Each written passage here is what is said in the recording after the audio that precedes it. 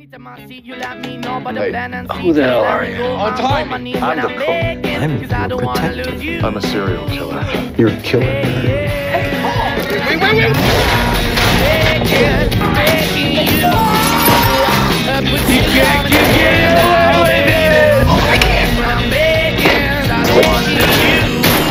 I'm putting your head out, Alright, sounds like we were successful. Is there anything else I can help you with today?